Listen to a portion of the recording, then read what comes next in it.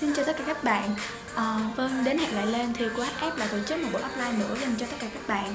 Và Bí rất tiếc vì bận việc học tập ở Sài Gòn nên không thể về kịp thời gian để tham dự cuộc offline này được. Và bao nhiêu năm trôi qua thì QHF đã trải qua bao nhiêu thăng trầm và biến động nhưng vẫn đứng vững cho đến ngày hôm nay? Thì đó là nhờ một sự thành công rất lớn từ phía các bạn, các anh chị em trong thành viên và quản trị. Và một phần quan trọng nữa đó là sự ủng hộ nhiệt tình và tình cảm mà các bạn member đã dành cho forum trong suốt thời gian vừa qua và dù cho không còn được đóng góp một phần công sức nhỏ bé của mình để xây dựng QHF nữa nhưng Bí mong rằng là ngày hôm nay và mai sau QHF sẽ ngày càng ngày càng phát triển và vững mạnh hơn nữa.